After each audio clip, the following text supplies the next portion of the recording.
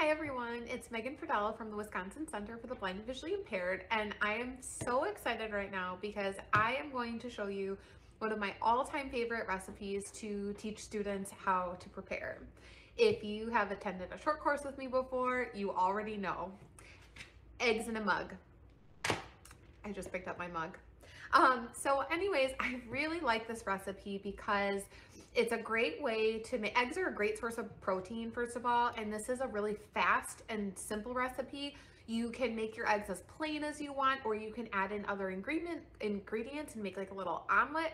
Totally up to you what you decide to do.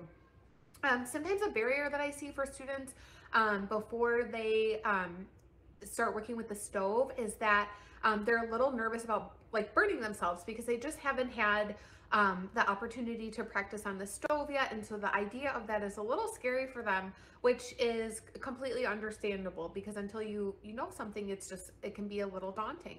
So eggs in a mug allows you to cook eggs with heat, but it takes away the nervousness of using a stove. It's a really nice stepping point. So anyways, let's go ahead and get started. To make this recipe, you'll need the following ingredients and tools.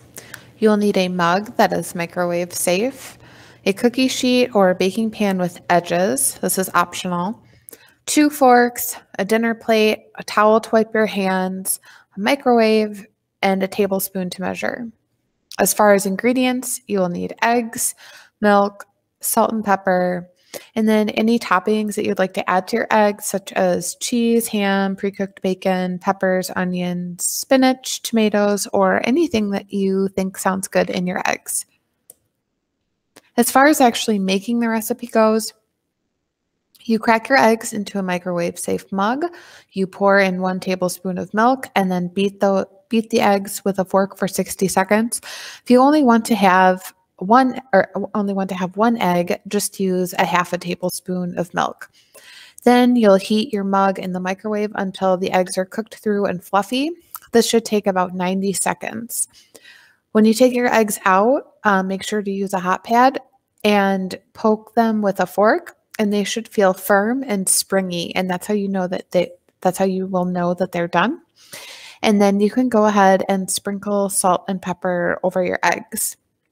If you are adding extra toppings in your eggs, go ahead and add them in the beginning and uh, beat them in with your fork.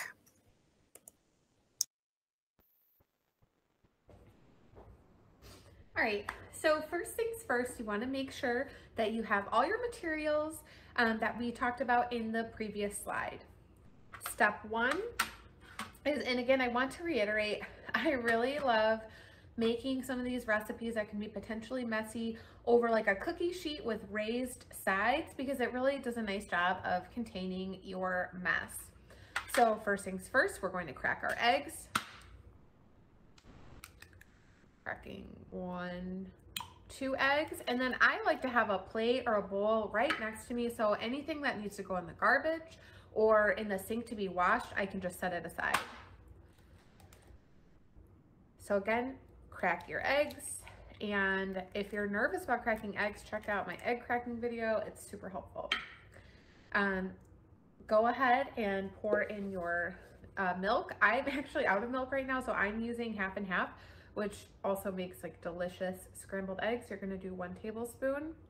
It's okay if you have a little extra. Take your fork, beat your eggs. I beat my eggs for about one minute.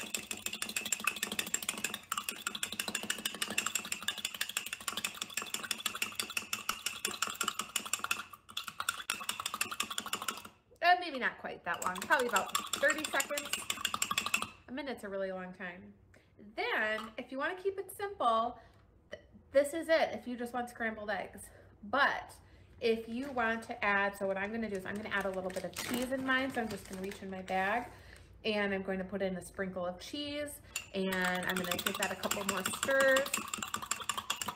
But this would be the time that if you want to add like any vegetables or meats, like maybe you want to put in a little breakfast sausage or like cut up ham or bacon or anything you want, they're your eggs. Um, go ahead and do that. Now, if you are just learning how to crack eggs, another tip I want to share is as you're touching these ingredients, as you saw, I touched um, half and half that um, both my partner and I use. I reached into a bag of cheese. If you cannot crack eggs without getting the yolk on your hands, be sure to wash your hands in between cracking your eggs and touching other food items because um, raw eggs can make you sick. So with that being said, now all we're going to do is head over to the microwave and we're going to pop them in for 90 seconds. Um, and if you have questions about microwaves, please check out my other video about microwaves and you'll learn a little bit more.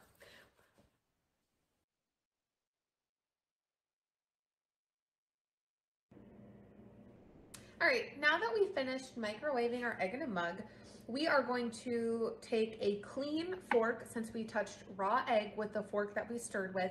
And I've also gotten a clean plate because um, just to show the practice of if you may have spilled egg on your um, original workspace, you don't want to set your mug or set your fork um, and potentially get raw egg on it.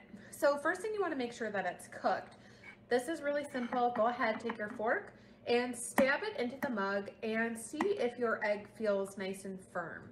If it feels runny or watery, or if you can easily stir it, you should probably pop it back in the microwave for another 10 seconds or so until it has a nice firm um, consistency. So next, you can go ahead if you want to add like salt or pepper. Again, I was doing this over a plate because if your spices go everywhere, not a big deal. You just throw the plate in your sink or your dishwasher. So I'm adding salt and pepper to mine, but you could add any seasoning that you like.